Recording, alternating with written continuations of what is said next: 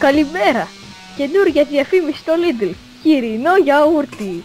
Όποιος θέλει χοιρινό γιαούρτι. Ας έρθει στα Lidl. Μόνο 200 ευρώ. Το παίρνετε. Πεθαίνετε. Όπως βλέπετε. Και εγώ το πήρα σήμερα. Και δεν ένιωθα καλά το πρωί.